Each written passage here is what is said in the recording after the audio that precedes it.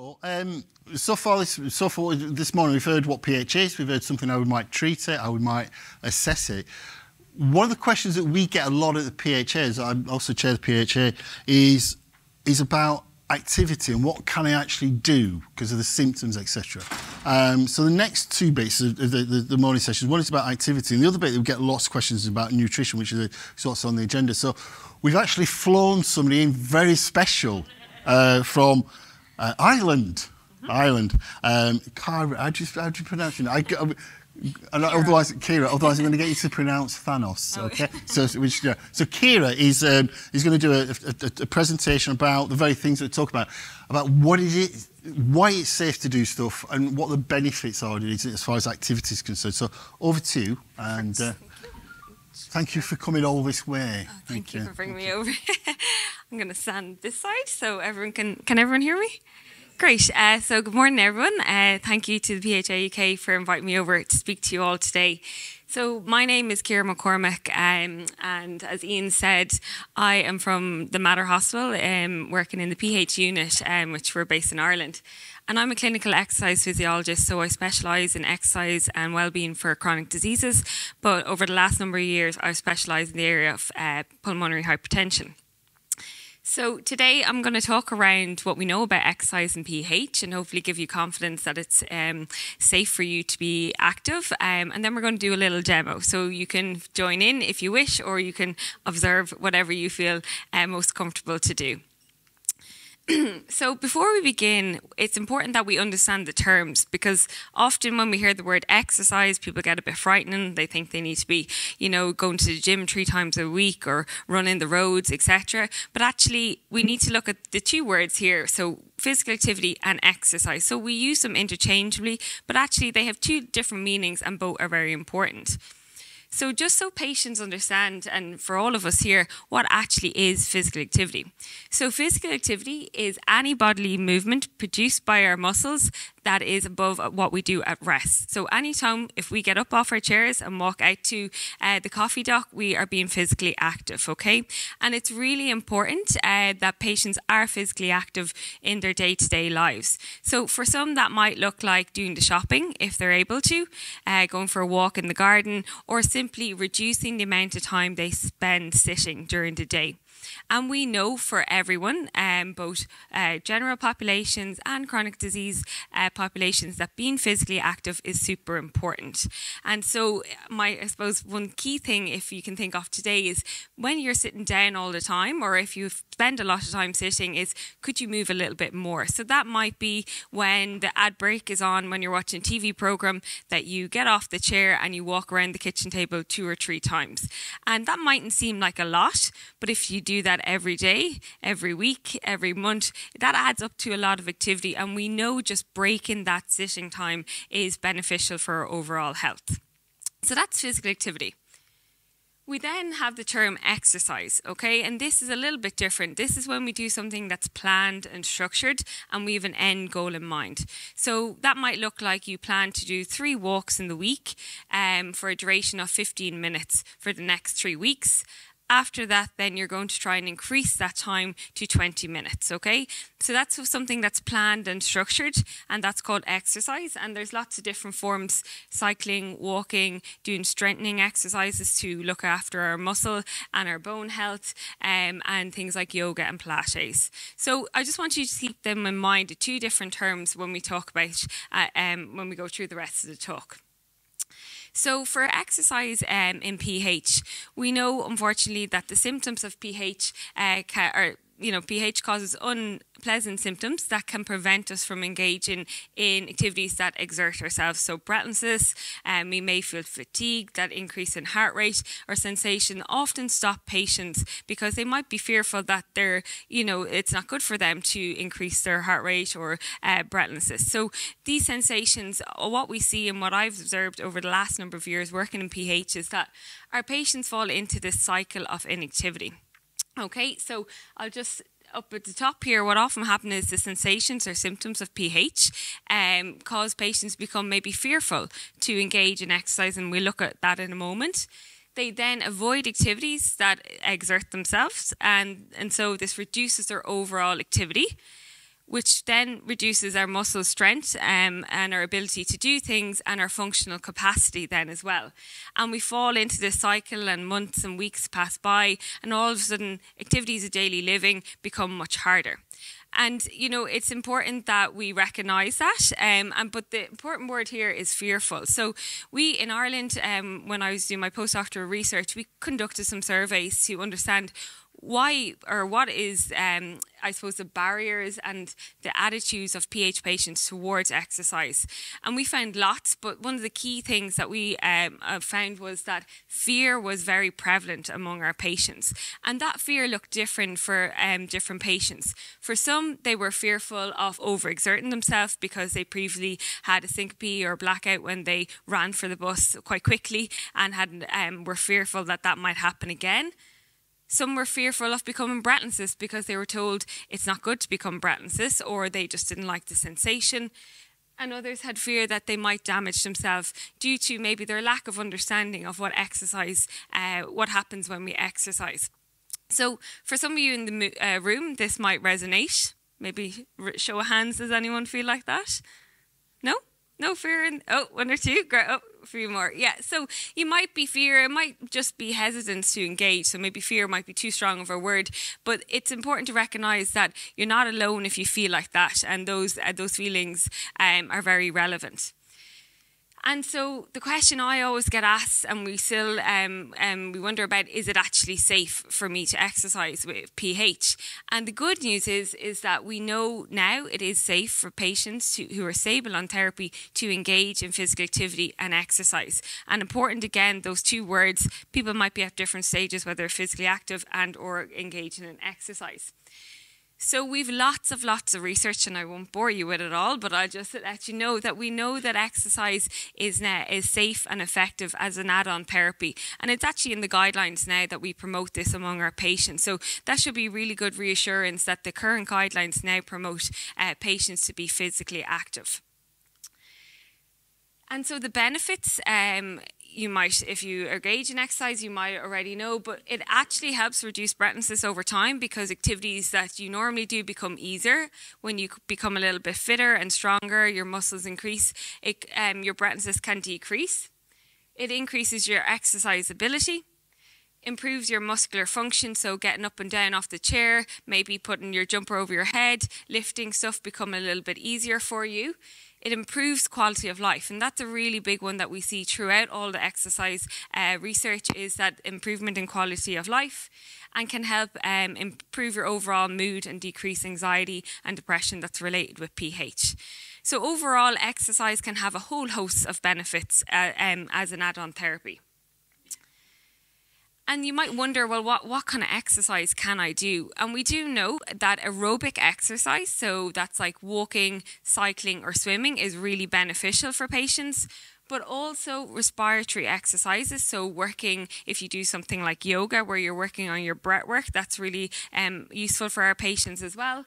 And resistance exercises. So, I'm going to demo one later on, and you've all done it maybe 10 or 12 times this morning once we demo it later. But exercises that work our muscles are important. And again, just doing that in a safe manner. So, in, we can use our body weight alone just to uh, stimulate our muscles, or we can add in small light weights um, to to um, improve this as well.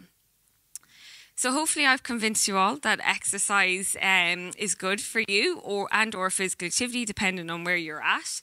And so you might ask, well, what, what, where do I begin? Okay. And for some people in the room, you might say, oh, well, I already go for a walk each day. Or some people might resonate that, God, I spend a lot of time sitting. So it's important that everyone's individual. So for some, it might be just that you, after today, you consider being a little bit more physically active in your day. Or for others, you might want to start engaging in some regular exercise, like going for a walk um, more consistently during your week.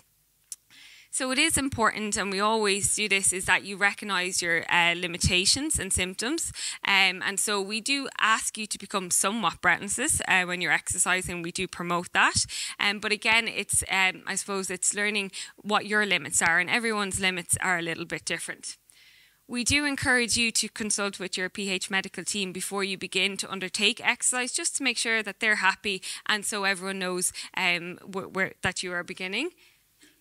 It's really important that we you start slow and gradually. Okay, so I don't want you all jumping off the chairs today and going for a run or feeling like you can. That's definitely not what we're trying to do. But it might be considering God today. I might try a ten a ten minute walk. Okay, starting as small as you like, um, and slowly bi- uh, building that up. And that's really really important that you don't go from zero to ninety. That you slowly build it up so you can understand how to manage symptoms and also understand your limitations it's important maybe the temperature consider that as well. You know we know for some patients if outside if it's too hot or too cold can have negative impact um, implications for them. So maybe indoors is better for you.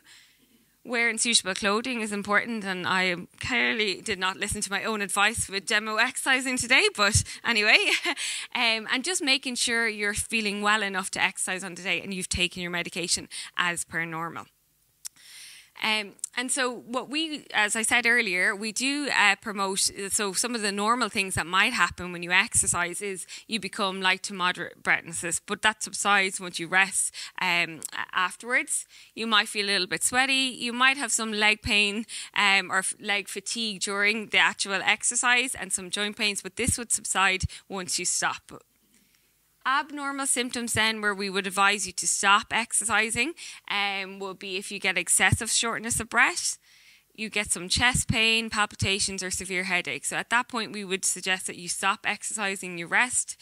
Hopefully it subsides. If not you seek medical um, attention for that. Okay so I, I know I flew through that, but we'll get to the good part, I think. Um, so everyone's looking really excited. Um, so I'm going to grab a chair over. So if you wish to join in, you can. Um, so I'll show two alterations, maybe if you want to stay seating for the first one. Um, but for anyone who wants to stand and join in, if you want to stand up behind your chair, that would be fantastic. If anyone wants, again. Uh, that's sorry, there's no Great. So you might want to spread out. Um, Great. So it's good to get everyone up and moving. Um, so you might have a little bit of space. So if you um, feel more comfortable, it's always good to have the chair near you, either just to rest on or have something to lean on. If not, you can put your hands on your hips if you're feeling more comfortable, whatever you like. So this one is a really good one when you're waiting for the kettle to boil, because we all know how long the kettle takes to boil when you're watching it. So instead of watching it, you could do some activity. So what we're going to do is we're going to have our hands on our hips, and it's important that we're looking up, not looking down at our feet. Okay, and it's important we don't hold our breath. So breathing normally. Okay, and uh, we're going to start off nice and slow. So looking forward, you're going to tap one toe behind, and then back to center, and you're going to change your uh, foot each time. So tipping the toe back. So this is just really nice and gentle. Whatever pace you can. This might challenge your balance and coordination. You have to think left and right. So nice and slow. Good. Great. Okay, so you keep going there. Um, to make this a little bit harder, what, you might like to do is bring in your arms. So again, this definitely challenges your coordination. So you're going to raise your hand up and step back. Okay, and you can maybe, if you're able to, increase your pace. So behind, together, behind, together. Great. Good. Can we go for ten? That's it. Nine. Well done. Eight. Seven four, three, two, and one. Well done. And you can take a seat back down. We're not finished. but I want you, for this one, you can take a seat. We're going to do it from sitting to standing. So this exercise, um, you've all done it to stand up today. Um, and hopefully, hopefully your heart rate is, everyone feeling okay? Yeah? Okay, great stuff. Okay, so the next one we're going to do is called a sit to stand. So you all do this, and it's a really, really important functional exercise that you do. Uh, several times in the day, okay? But we, we can add this in to have a more uh, repetition. So this one's really important. So I'm going to demonstrate and then you can practice it every time you get off the chair. So next time you get up off the chair, you're going to take 10 attempts to get up instead of just one, okay? So what, what you're going to do is you are going to sit uh, with your knees and heels in line. So I don't want your feet back here, so everyone have a look down. Yeah, you shouldn't be, your feet should not be behind because you're going to put too much pressure on your knees. You want a nice, strong base, okay? Ideally, for this, you cross your hands, but for some people, that might be a little bit challenging for now. So, you might need to use the chair to push up, or you might want to use um, the table. Now, as I recommended, do not wear high heels uh, when you're doing these, um, but adds to the challenge. So, what you're going to do, I'm going to dem- demonstrate first because your breathing is important as, as well. So, what you're going to do is take a deep breath in. And as you stand up, you're going to push out the air, okay? So, breath in and breathe in all the way back down. Bum on chair and stand up. Good, and down. Don't plunk yourself down. Nice and slow. Up. Good. And slowly back down. Well done. Can we go for five? Up. Good. And back down. That's it. Four. Up. And back down. Well done. Three up and back down. Good. Two, up and back down. And last one, up and back down. And you can say seated.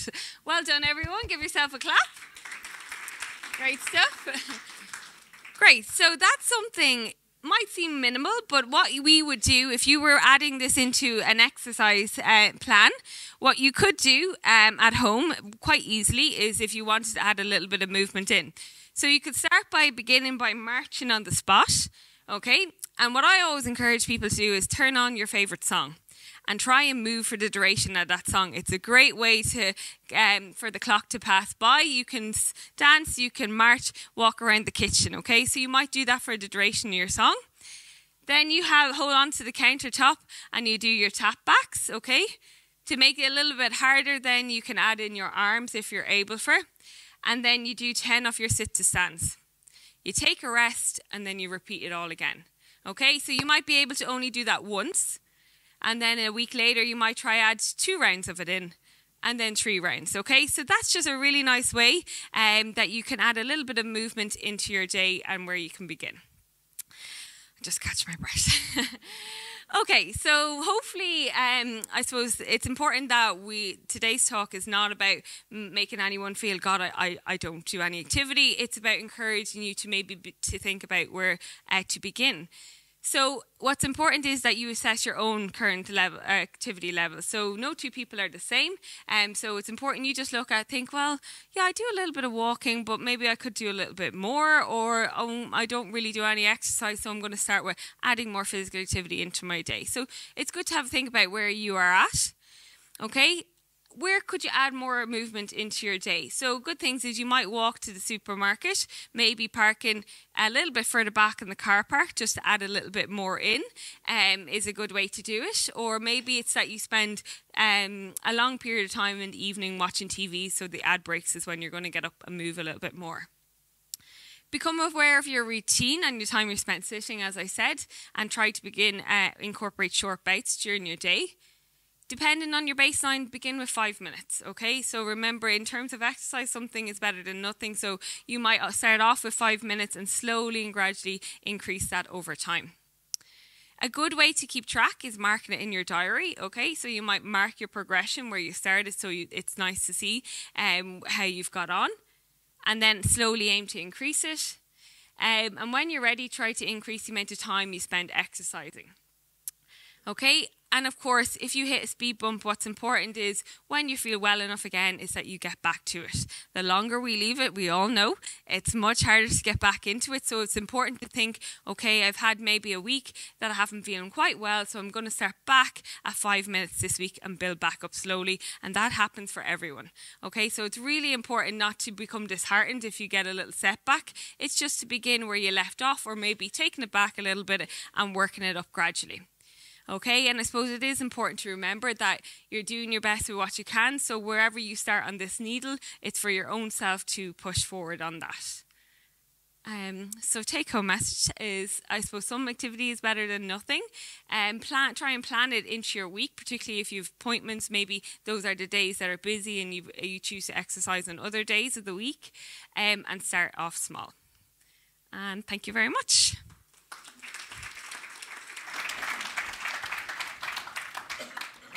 Thank you very much.